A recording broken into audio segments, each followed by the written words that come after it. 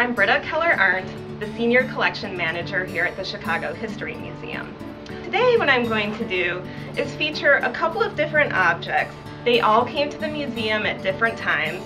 Some were donated and some were purchased by the museum. But together, they tell the story of a man who lived in Chicago nearly 160 years ago. Born in New York in 1837, Elmer Ellsworth eventually moved to Chicago to study law and earn a living.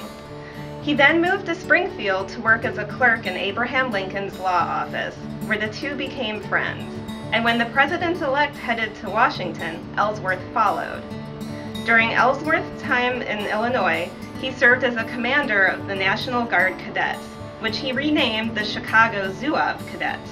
As a student, he had always admired the Zouaves, the Algerian troops who fought under the French army in North Africa. On May 24, 1861, Ellsworth and his men were in Alexandria, Virginia, assisting with the occupation of the city.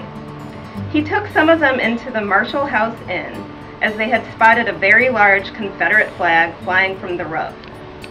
Ellsworth climbed the stairs, tore down the flag, and as he was heading back downstairs, James Jackson, the innkeeper, shot and killed him.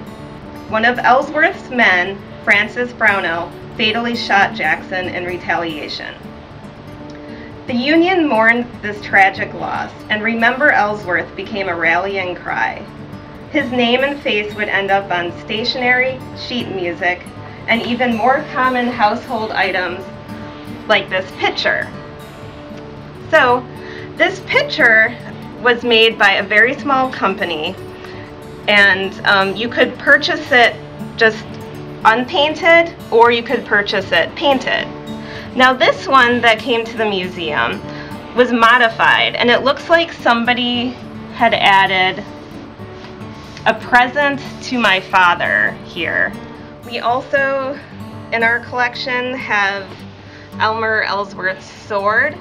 Now when he was traveling with the Chicago Zouave cadets, he was, you know, he was presented with swords as he was traveling around the country. So this is just one of them. And, and finally, we have this wreath that was made by Mary Todd Lincoln and was placed on his casket after his death.